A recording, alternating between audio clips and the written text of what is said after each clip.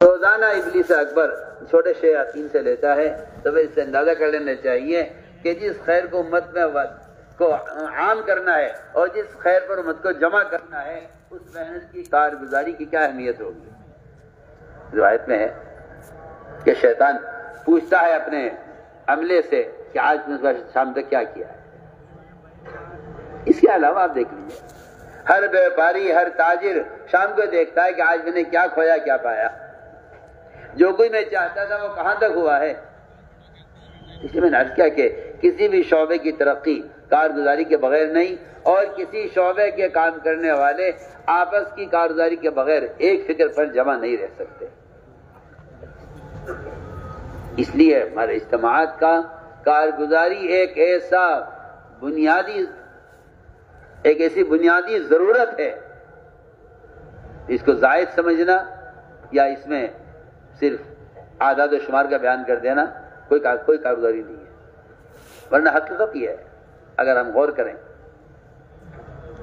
کہ اگر ایک کام کرنے والا عملہ عملے کا ایک فرد تو بہت بڑی چیز ہے، اگر ایک پرندہ بھی صبح علیہ السلام کی صحبت سے اور ان کے قافلے سے الگ ہوتا ہے، تو سوال ہوتا ہے کہ یہ فلاں کہاں غائب ہوا ہے؟ بڑی آپ کو جو سایہ کیے ہوئے تھے پرندے صبح السلام کے اوپر، اس میں سے ایک پرندہ ہو دھود غائب ہو گیا۔ مجھے کہاں ہے؟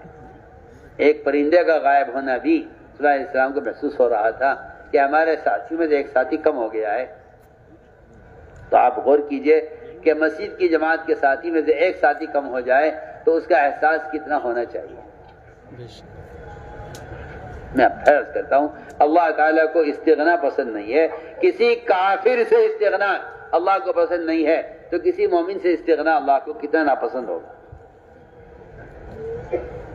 پوچھا کہاں ہے؟ وہ کچھ دیر غائب رہا پرندہ حاضر خدمت ہوا۔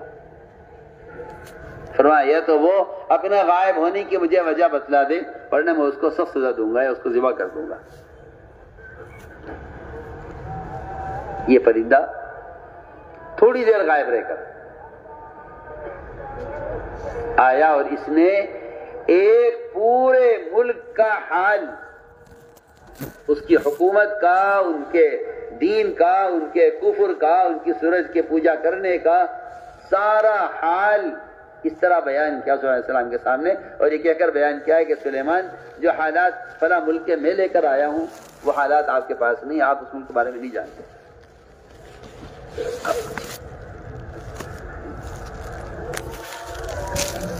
ہمیں تو اپنے محلے کا حال معلوم نہیں ہے۔ میرے محلے میں کتنے مسلمان ہیں، کتنے فیصد میں نوازی ہیں، مجھے مجھے معلوم نہیں۔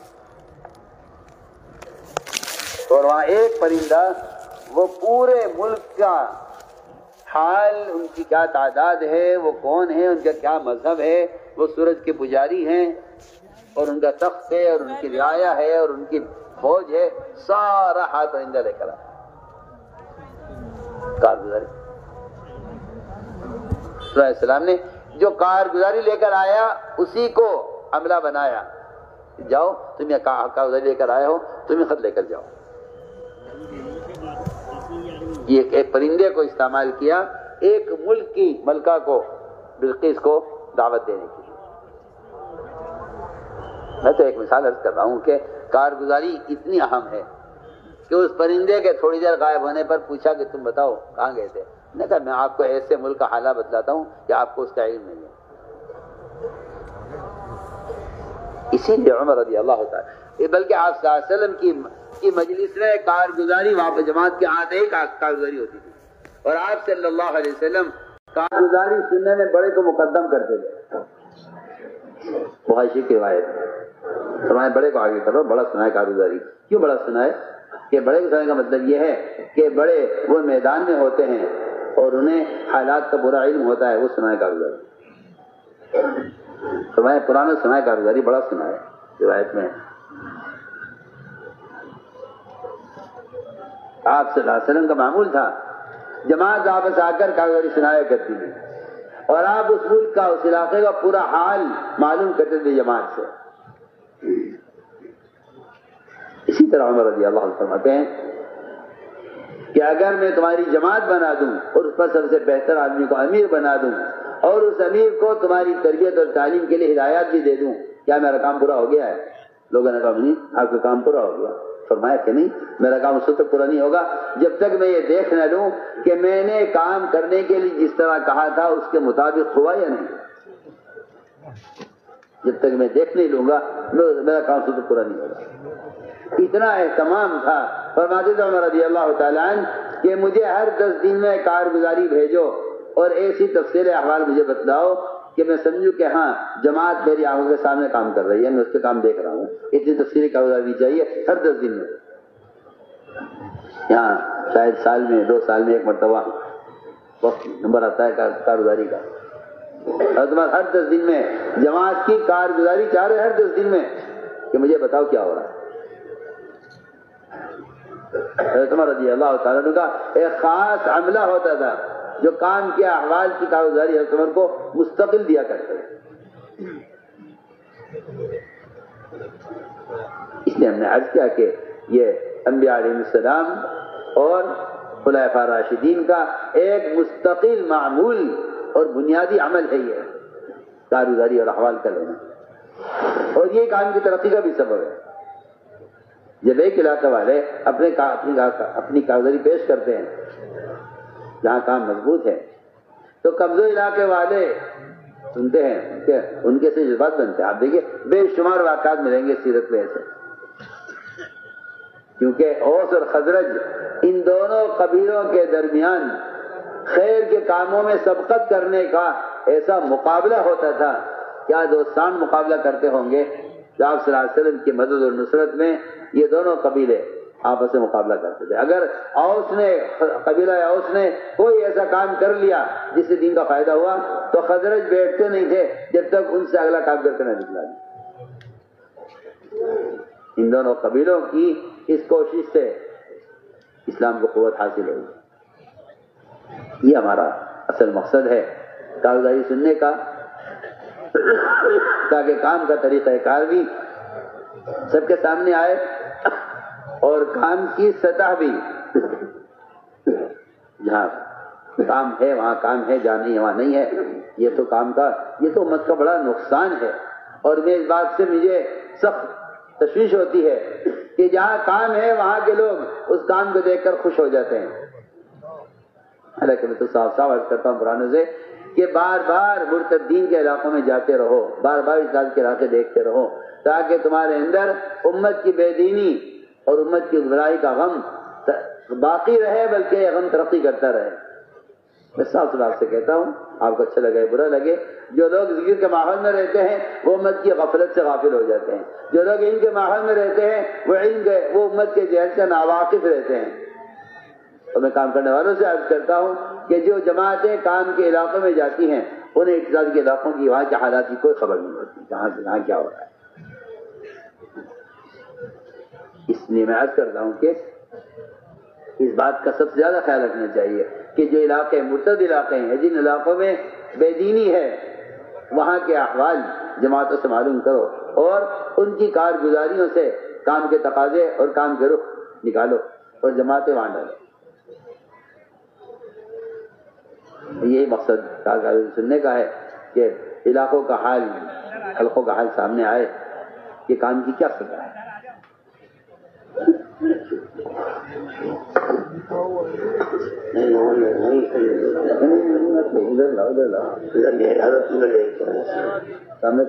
اوکھلے آگا والے اوکھلے والے اوکھلا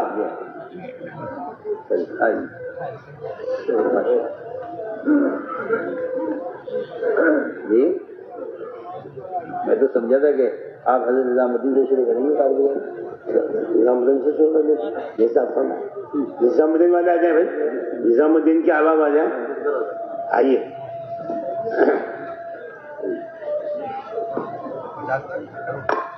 آئیے تشریف لائیے ارشد صاحب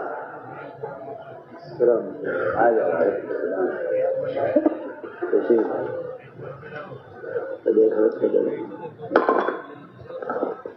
ما شاء الله لا قوة إلا بالله.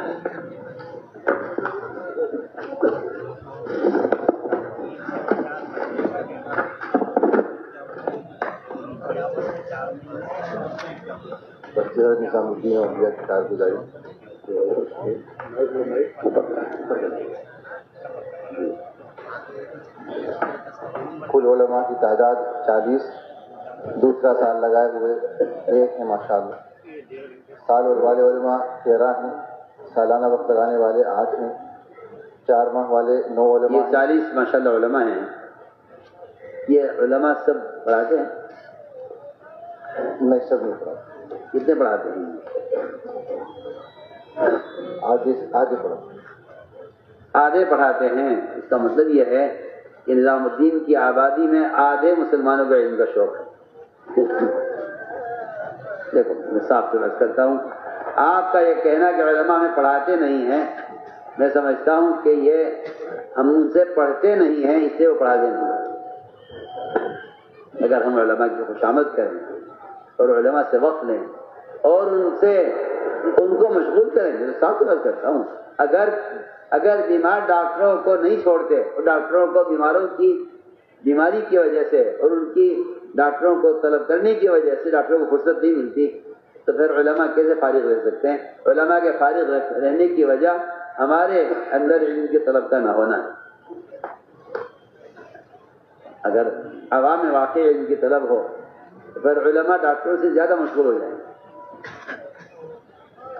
یہ اصل بات ہے۔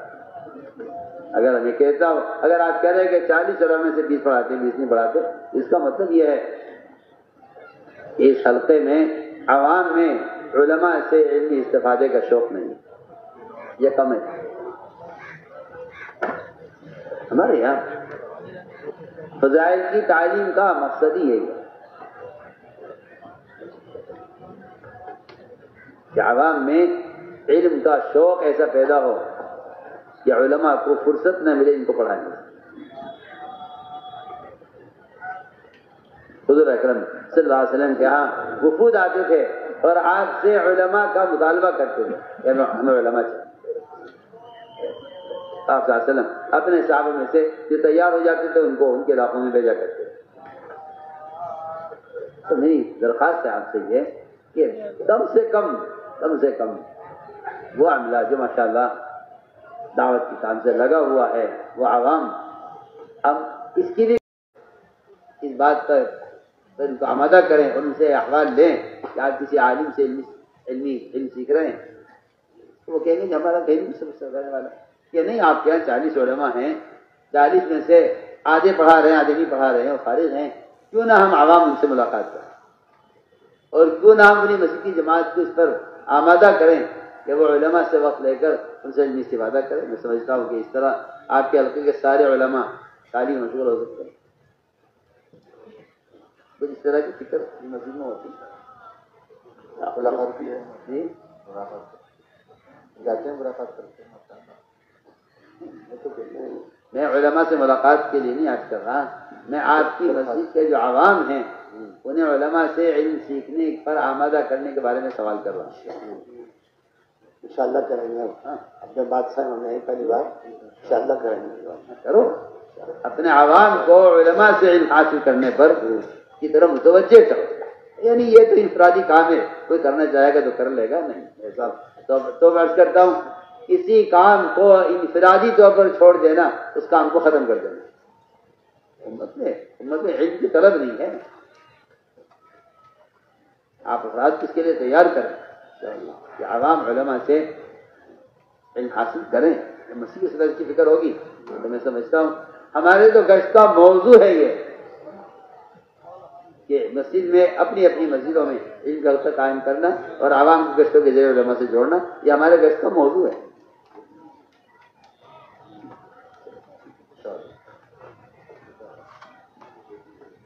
جی بتلاؤ ایسا ہو رہا ہے۔ جس میں ہو رہا ہے نور مسجد۔ جو ہمارے ساتھ میرے عزیز یہ تو ہر مسجد کا کام ہے۔ اس مسجد میں نماز ہے اس مسجد میں تعلیم ہے۔ اور کیا؟ ویسے فضائل کی تعلیم تک نہیں ہم تو مسائل کی تعلیم علماء سے مسائل کی ہر مریض کے سبق جاتے ہیں تاکہ اس محلے کے عوام تک مسائل پہنچے اسی مسجد کے اطراف میں رہنے والا مسلمان اپنے دین سے ناواقف نہ رہے یہ ہمارے گشت کا بھی موضوع یہی ہے مسجد میں تعلیم حلقے کا بھی موضوع یہی ہے۔ جی۔ چار ماہ والے علماء۔ نو ہیں سالانہ لگانے والے تین ہیں چلے والے سترہ ہیں سالانہ لگانے والے تین ہیں۔ نظام الدین احمد مرکز میں ابھی دو ماہ نہیں ہے سالانہ ایک ایک لگاتے ہیں چلہ مرکز سے۔ نہیں تو آپ کا سالانہ چلہ کتنے لگا رہے ہیں؟ سالانہ تو ماشاء اللہ تیرہ ہو گیا تو تیرہ میں سے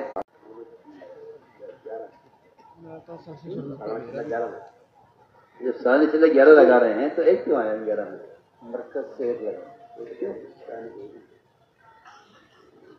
یہ تو پیشدہ بات ہے نا۔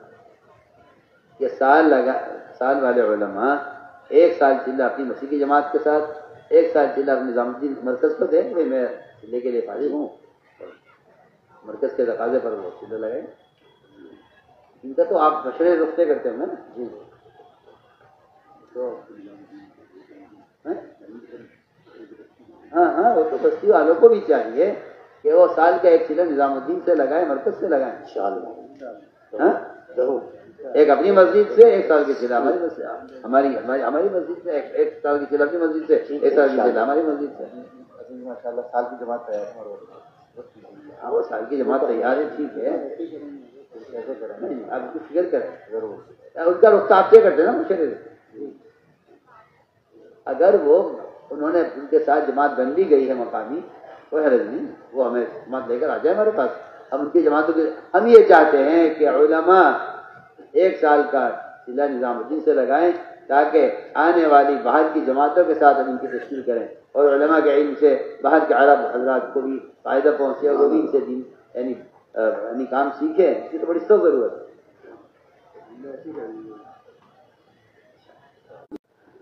دوسرے سال کی جماعت بھی جا رہے ہیں جی دوسرے سال کی جماعت بھی تیار ہے۔ یہ جلدی میں کوئی بات کہتا ہوں یہ کہتے ہیں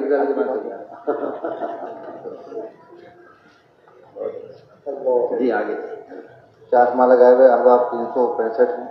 سالانہ چار ماہ لگانے والے نو ہیں۔ سالانہ چلہ ایک سو تین لگاتے ہیں۔ چلے والے احباب تیرہ سو چھیانوے ہیں۔ سالانہ چلہ لگانے والے دو سو بائیس ہیں۔ چلے والی مستورات چالیس ہیں اشرے والی مستورات تیس ہیں۔ سے روزہ والی جماعت مستورات ایک سو نبے ہیں۔ ہفتہ واری تعلیم گزشتہ سولہ جگہ ہوتی تھی ماشاء اللہ ہر سال چار ماہ لگانے والے ماشاءاللہ نو ہیں۔ اور چار ماہ لگائے ہوئے احباب تین سو پینسٹھ ہیں۔ تین مرتبہ چار ماہ لگائے ہوئے کتنے ہوں گے؟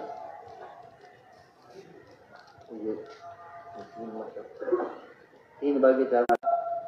یا اس سے زائد چار ماہ لگا چکے ہیں لیکن بیرون کی کوئی جماعت نہیں یہ ایک اور آپ کے یہاں ہر سال چار ماہ لگانے والے نو ہیں تو یہ جماعت تو ایک جماعت تو ہونا لازمی تھا آج کی انور کی جماعت کو چار ماہ لگا کے بعد جماعت کے بعد وہ تو عزائم میں ہے نا میں تو اسے پچھلے سال سن رہا ہوں آگے میں تو کاغذ سنا آپ- سنا رہے جی ماشاء اللہ جی چلیے آگے چلیں۔ بھائی، اس کے جس کے تین مرتبہ چار ماہ لگ چکے ہیں۔ اس کو تو آپ ہر ممکن کوشش کر کے باہر نکالیں ان شاء اللہ ضرور۔ میں تو آپ اس میں تاخیر نہ کیجیے۔ میں بہت اہم بات کرتا ہوں تین مرتبہ چار ماہ لگائے ہوئے ساتھی کو اگر آپ نے باہر نکالنے کی کوشش نہیں کی، کام سے گزر جائے۔ تاکہ میں حضرت کی بات نقل کر رہا ہوں۔ فرماتے تھے، چار، اگر اس کا ملک سے باہر وقت نہیں لگا، اپنے ملک سے دور یہ نہیں نکلا، اس کے اس کے دعوت کے میدان میں اس کو استقامت، اس سے استحکام حاصل نہیں ہو جتنا دور جائیں گے، اتنی اپنے دین کی قدر اور اپنے دین پر استقامت اتنی زیادہ ہو۔ میں کرتا ہوں، جو ملکوں میں جا کر وہاں کے مسلمانوں کی بدحالی نہیں دیکھیں گے ان کو اپنے ملک کے اپنے ملک کے دین کی قدر نہیں ہوگی نکالنے کا مقصد صرف وہاں بات پہنچانا نہیں ہے۔ اس کے اندر تو بہت سے فائدے اور بہت سے اثرات اس میں چھپے ہوئے ہیں۔ باہر ملکوں کے ملک جماعتوں کے باہر کے ملکوں میں جانے کے لیے۔ آپ اس کی پوری کوشش کریں۔ ہفتہ واری تعلیم گزشتہ سولہ جگہ ہوتی تھی موجودہ بیس جگہ ہوتی ہے ماشاء اللہ اگر ہر مسجد والے سے کوشش کریں نا کہ بھائی ہماری مسجد کے اطراف میں چار ماہ کی مرتبہ لگائے ہوئے فلاں فلاں ساتھی ہیں۔ ہمیں انہیں کو بیرون کے کو تیار کرنا جی۔ اجتماعی جوڑ دو کل بستیاں پانچ حلقے چار ہیں کل مساجد ستر بجے چودہ مساجد کی تعداد بیس کا پچاس کی ابھی بھی پچاس شب گزاری کے مقامات ایک ماہ حیات صحابہ بھی ایک۔ مسجد وار ماہانہ جوڑوں کی تعداد چار ہے ماہ حیات صحابہ بھی چار ہی ماشاء اللہ بعض اعمال والی مساجد سینتیس گزشتہ تھی موجودہ میں انتالیس ہیں۔ پانچ اعمال والی مساجد پچیس تھی ابھی پچیس۔ ماہانہ سے روزہ جماعتوں کا اوسط اٹھارہ تھا ابھی اٹھارہ۔ ماہانہ دس ٹوم جگانے والے اجلاس پہلے دو تھے، ابھی چار ہو گئے۔ روزانہ مسجد کو ایک سال میں ایک مسجد میں بھی پانچ اعمال کے اضافہ نہیں ہوا کیا وجہ اب تو اللہ کے فضل ہے بعض علاقوں کی کاروباری ایسی سننے میں آ رہی ہے ملیشیا بھی گئے، وہاں بھی دیکھا۔ کہ اب بعض عامہ والی مسجدیں کم ہونے، ہم کم ہو گئی ہیں پانچ عامہ والی زیادہ ہو گئی بعض علاقوں میں تو یہ دیکھا ہے کہ مسجد کی آبادی زیادہ مسجدوں میں ہے اور کم مسجدیں وہ ہیں جن میں ابھی مسجد کی آبادی کی اتنی شروع نہیں ہے یہاں تک کی کاروباری ہے۔ لیکن یہ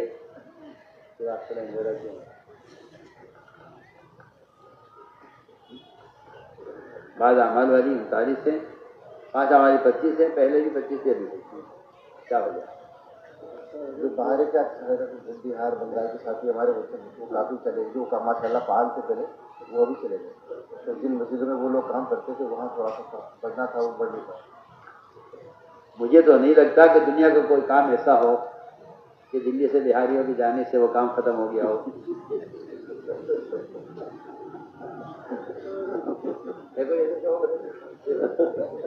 کوئی بتا کسی گھر پہ ڈرائیور کا گاڑی کا ڈرائیور بھی ہوگا تو اس کے جانے سے پہلے دوسرا ڈرائیور اس کے یہاں آ جائے۔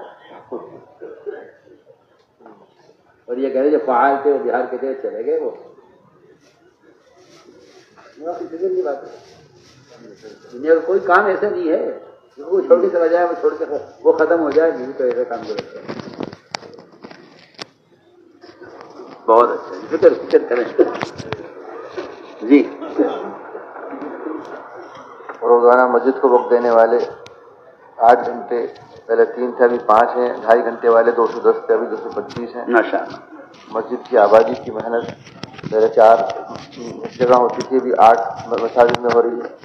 کل گھروں کی تعلیم اور ایک سو ستر گھروں۔ اب تو عام طور سے صبح کی کارگزاری میں یعنی پانچ اعمال جن مسجدوں میں ہیں ان مسجدوں میں مسجد کی آبادی ہے۔ پانچ عمل میں سے ایک عمل مسجد کی آبادی ہے تو سب جانتے ہیں۔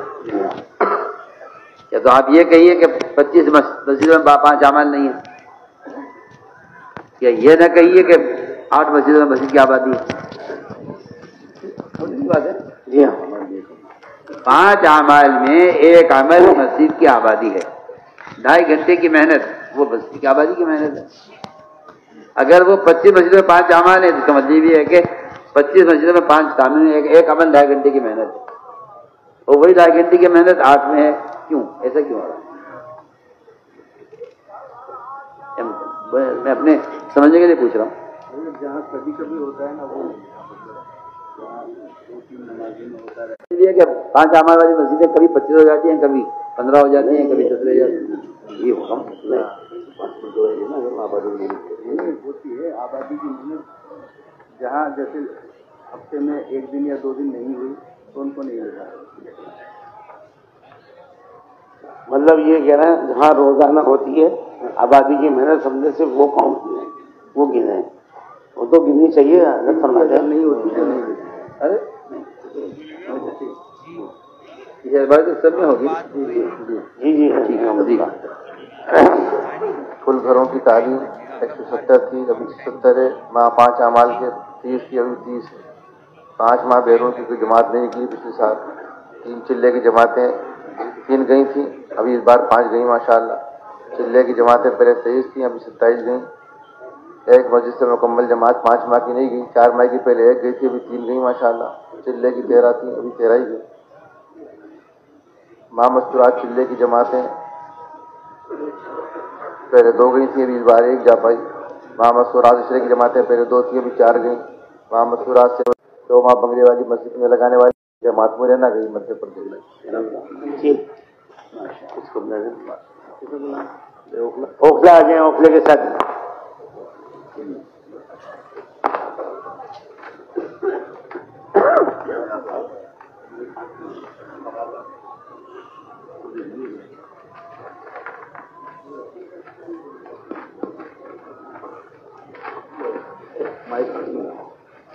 جی اس کو لگا لیجیے وہاں نہ کرے گا بابا کی یہ ہے وہ جی۔